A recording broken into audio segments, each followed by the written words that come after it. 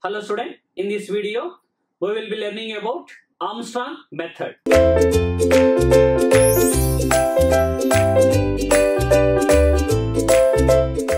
Now we are going to discussing about the indirect method or Armstrong method. What is the indirect or Armstrong method sir? In indirect or Armstrong method, first we are generating the NBFM signal. Now that uh, NBFM signal we are passing through a proper frequency multipliers then that frequency multipliers will convert them as a wideband FM. So first we will see the block diagram of a Armstrong method or indirect method then we will follow. So coming to the block diagram first what we are doing first we are generating NBFM signal.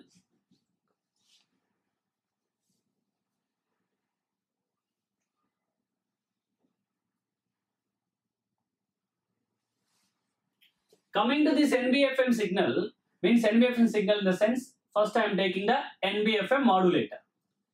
For any modulator, what are the two inputs we need to give? One input is message, another input we need to give the carrier signal C of t.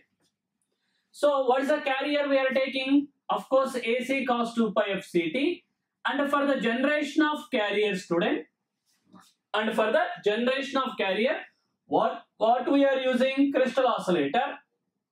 So symbolically i am showing that this is our c of t. Now both are given to nbfm modulator. What is the output you will get? Output will be the nbfm signal students. Now how this nbfm signal we are converting as a wideband fm signal we are giving to a proper frequency multiplier.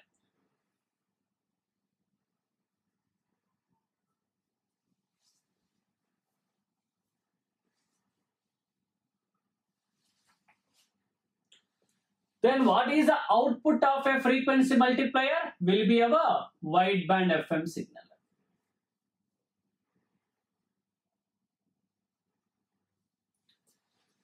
And what is that frequency multiplier? Frequency multiplier is nothing but a non-linear device followed by a proper bandpass filter. Now I am writing the frequency multiplier block diagram. What will be there inside the frequency multiplier? I am saying non-linear device.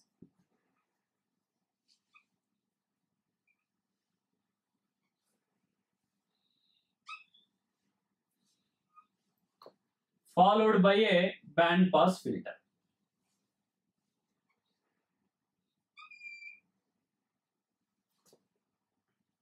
So now first I will explain you. Of course, this is the block diagram of a non-linear device followed by the band pass filter means this is the block diagram of a frequency multiplier.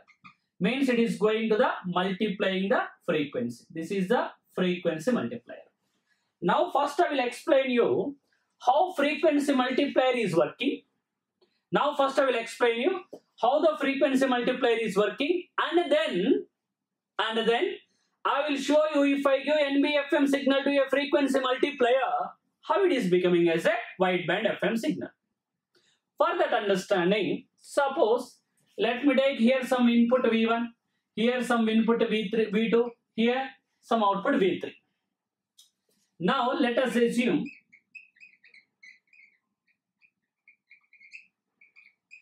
V1 is nothing but some cos omega t I am taking. Means at the input of this frequency multiplier, I take in the frequencies omega. Now, how the output is coming? Let's see how the frequency is going to be multiplying. We already know what is the input-output relation of any nonlinear device. The input-output relation of any nonlinear device is V2 equal to A1 V1 plus A2 V1 square. This is the input-output relation of a non-linear device. Are you getting my point or not? Now, substitute the V1 here. Then, V2 is nothing but A1 into, what is the V1? Substitute students, cos omega t plus A2 into cos square omega t plus still I can take plus a3 into v1 cube plus and so on. That is the input output of a nonlinear device. Plus some a3 into cos cube omega t plus and so on. Are you getting my point? Now, this is nothing but a1 cos omega t as it is I am writing. Second term if you are observing that is a cos square term. Second term is a cos square term. Cos square term can be written as a 1 plus cos 2a. So a by 2 plus a by 2 into cos 2 omega t plus what is the cos cube we can write? Try to recall a cos 3a formula. What is cos 3a formula? Cos 3a formula. 3 cos a minus 4 cos cube a will be the cos 3a formula. But what is here? Cos cube is there. Are you able to follow or not? I am writing here. Cos 3a formula is 3 cos a minus 4 cos cube a. Now I want cos cube a. I am sending this side. So this term will be this side. 3 cos a minus cos 3a divided by 4. So it will be a3 by 4 into cos, sorry, 3 cos a minus a3 by 4 into cos 3a. 3 means 3 omega t. Of course, a means here omega t.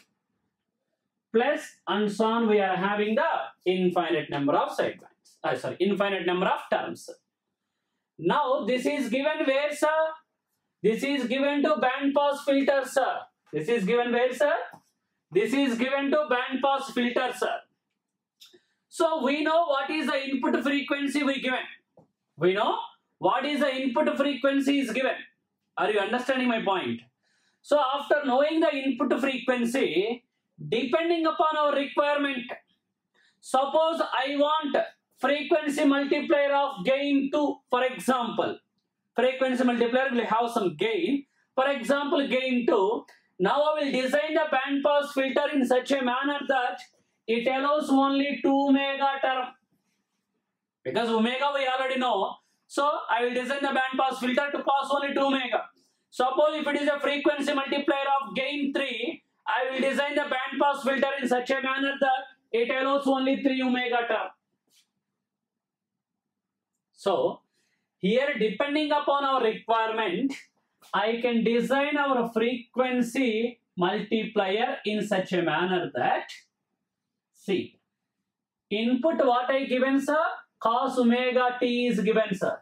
Input is cos omega t. What is the output sir?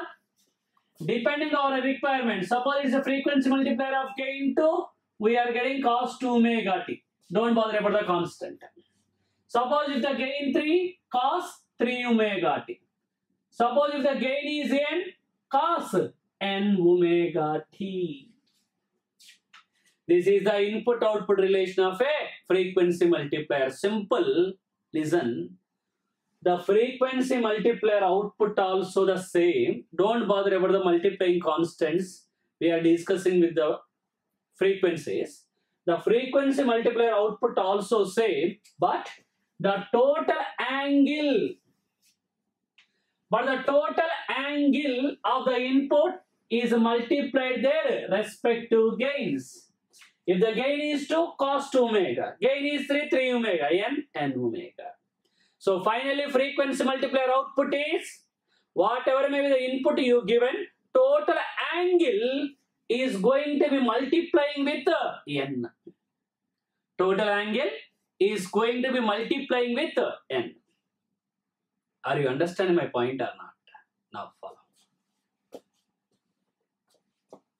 What is the input we given to the frequency multiplier, sir? Generally, it's a frequency multiplier of gain n, sir. What is the input we are giving to the frequency multiplier, sir? We are giving NBFM signal. What is the NBFM means? Beta value less than 1. I am writing the single tone expression which is AC cos 2 pi fct plus beta sine 2 pi fmt.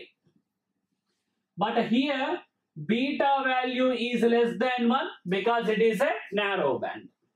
Now this is given to where frequency multiplier of gain n. Then what is that frequency multiplier output? Frequency multiplier output is AC cos. Total is multiplied with n. So it is 2 pi fct plus beta sine 2 pi fmt.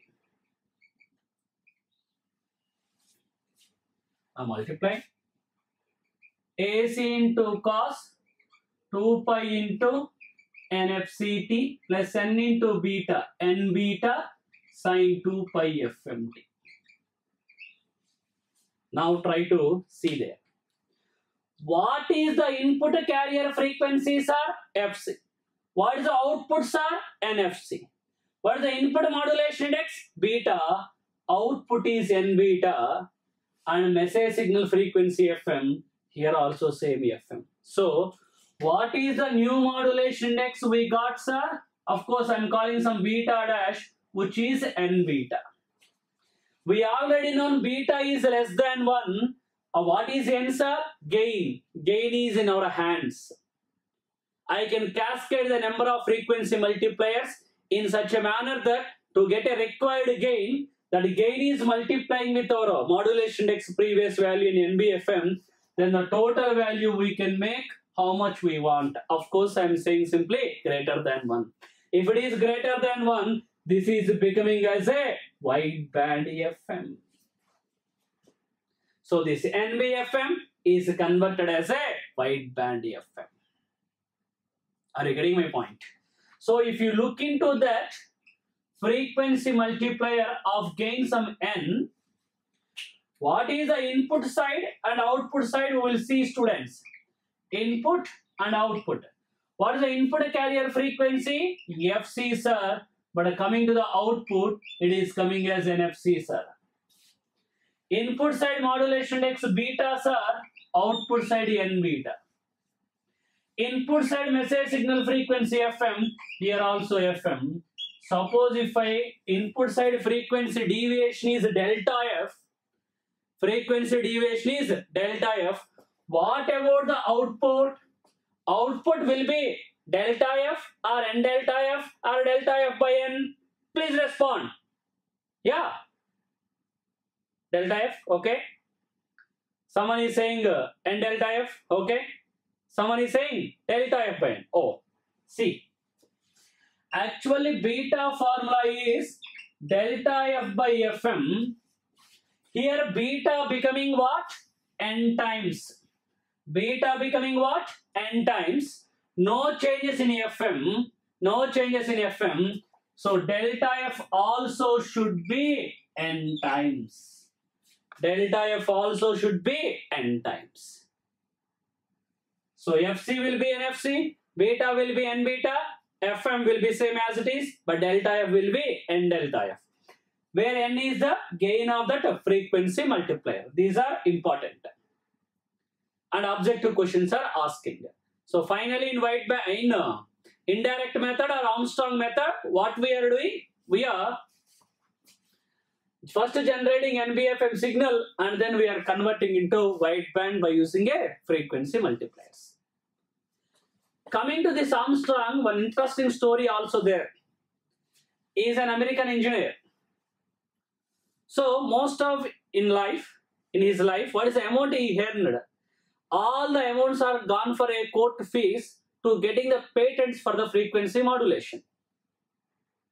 So after that uh, patents came, is no more, but his wife got crores of amounts because of the patents from the frequency modulation. As the name of him, we given the indirect method or Armstrong method. Clear? Here only the point come the indirect method is we are using crystal oscillator to get a stable FC.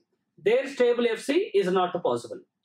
And what is the frequency multiplier operation? And remember this expression input-output relations. See the next problem.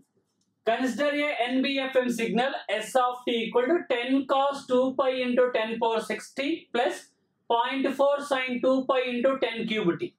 This signal is passed through a cascade of frequency multipliers having a gain 2 and 5 respectively as shown in below.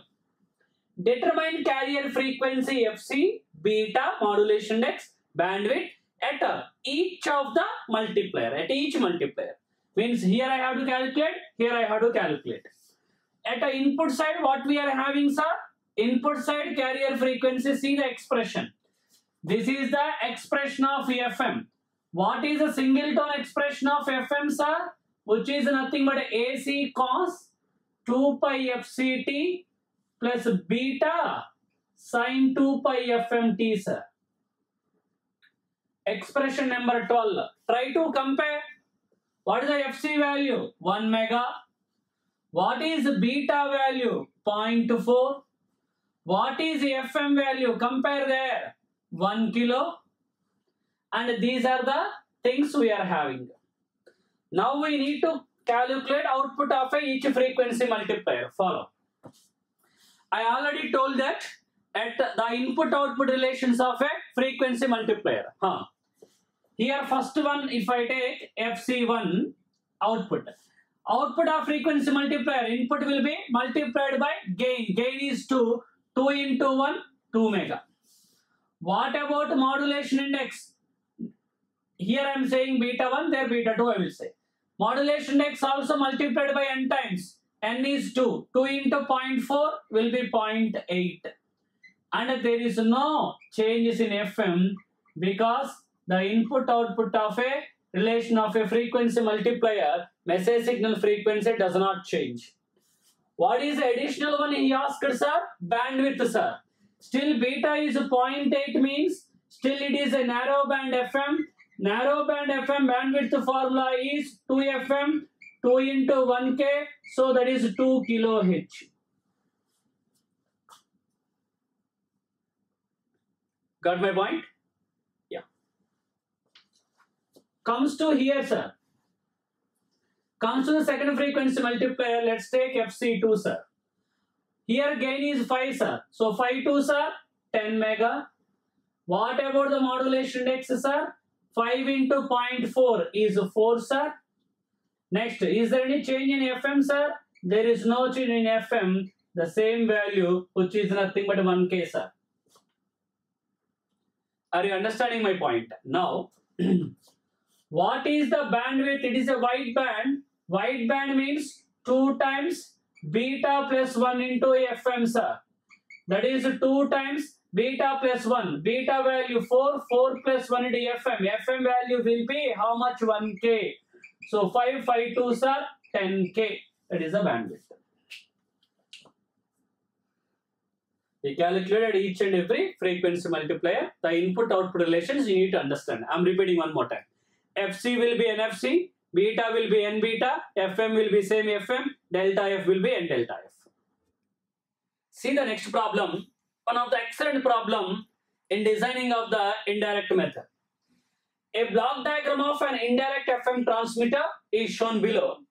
Compute the maximum frequency deviation delta F at of the output of a FM transmitter here and the carrier frequency FC. He given F1 value 200k. F1 means for where we are giving here NBFM, here we are giving F1. F1 value 200k, local oscillator FLO 10.8 mega, delta F1 in starting 25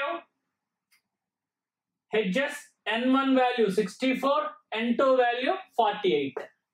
We already knows what is the overall delta F value, sir? Overall delta F value is initial value which is having here, of course, delta F1. And what is the first multiplier gain? What is the second multiplier gain? Because here the point you need to understand, I will specify the original concept of introduction of mixer also. Mixers are used for frequency conversion, either to up conversion or down conversion. Either to up conversion or down conversion. Are you understand? Mixer does not change any frequency deviation. What is the introduction of this also? I will explain you wait.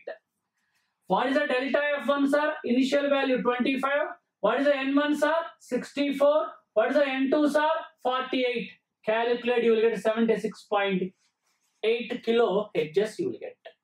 Delta F means hertz. Now, first try to calculate what is here the value F2. Can I say F2 is nothing but N1 into F1? The frequency multiplier output N times. What is the N1 value? 64. What is the F1 value? 200K. 64 2s are 128.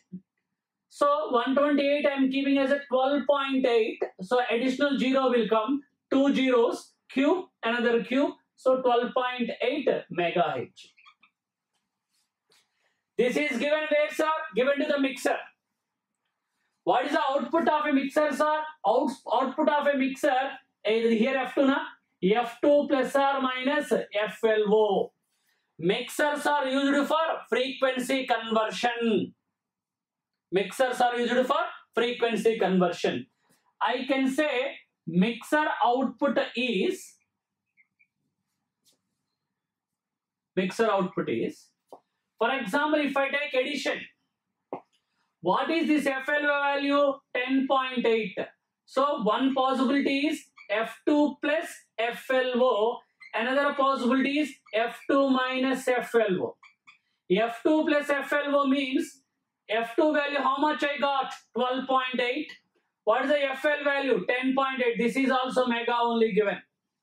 So 12.8 plus 10.8 23.8 uh, sorry 23.6 na? Yeah.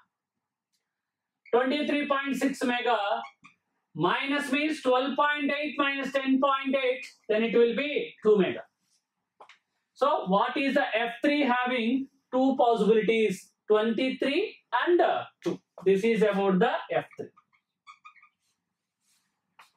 now what is the final fcc final fc also will have two possibilities based on this Suppose if I take this value, which is 23.6 mega into N2. This value means 2 into N2. What is the N2 value, sir? He given 48. 48 into 23.6. You will get 1132 mega, sir. 11, 1132. Point some 6 you will get. Because this is uh, 8 na 8 for 64 so 4 will come 4 mega. And this is 2 mega of course 2 means 2 mega 2 mega into 48 so 96 mega. These are the two possibilities for the carrier frequency. Why it came? Because of the mixer. Generally what is the introduction of this mixer concept is students do you know? The concept is here. Already in the direct method i told we are not using crystal oscillator for getting standard frequency, standard carrier. So in this NBFM means what we are using here is a crystal oscillator. Crystal oscillator minimum starting frequency itself is 1 megahertz. 1 megahertz. If I use such a type of frequency multipliers, it is becoming as a like. If I take addition, it is becoming as a like. Thousands of megahertz will come but a practical FM range is from 88 to 108. But why we need to take such type of gains? Because the deviations are small. So we are keeping the frequency multipliers to bring up our deviation more. If I use further frequency multipliers to bring our deviation of approximately 75 has to come. So for that one we need to use the higher gains. But because of higher gain, frequency is also becoming lots of value. But practical FM range is less. So what we are using is, by using mixer, what we are using is down conversion only you are using. So we'll make a properly down convert that and bringing back to our range, which is 88 to 108. The intention of keeping high gain is to get deviation proper value. Because of that, our frequency also increasing. Because in crystal, minimum carrier, minimum frequency, we will get 1, 1 mega. So to bring our proper, we are going for down conversion. Why down conversion in mixer, sir? To bring our required value. Whether they mentioned or not, practically down conversion only. One of the excellent problem in designing of indirect method. See the next problem. The different kind of problem. Assume that 10.8 megahertz signal, 10.8 megahertz signal in the below figure, 10.8 megahertz signal in the below figure derived from 200 kilohertz oscillator. Multiplication factor is 54. And the 200 kilohertz oscillator drift. This oscillator drift, drift means change is 0.1 hertz sir. He gave drift is 0.1 hertz. First question, find the drift in the 10.8 megahertz signal. Try to see. First question. Find the drift in the 10.8 megahertz signal. This is a 10.8 megahertz signal. How much is the drift? Here drift is 0.1. This is going to be a frequency multiplier. So drift also multiplied by that many number of times. 0.1 into 5, 54. So 5.4 H is the first question. What is the second question, sir? Find the drift in the carrier of the resulting signal. So here I need to calculate. Follow. Here drift is 0.1. This is given here 5.4. The same is given to NBFM modulator and another frequency multiplier. Here drift, drift is 6.4. This drift multiplied by this one. What is this, sir? This is not multiplier, sir. This is a mixer. What conversion we are using for mixer in the previous problem? I told down conversion. Here drift 6.4 minus this drift, which is nothing but 1. Now, this drift is going to be final means here FC. This drift is going to be multiplying with this frequency multiplier 1 into 48. So 48 Hz is the drift in the final FM signal. Here drift means only so multiplied one frequency one frequency multiplier 0.4. So here you need to 48 here 5. That is the question. Drift also multiplying by frequency factor means n times it will happen n into drift.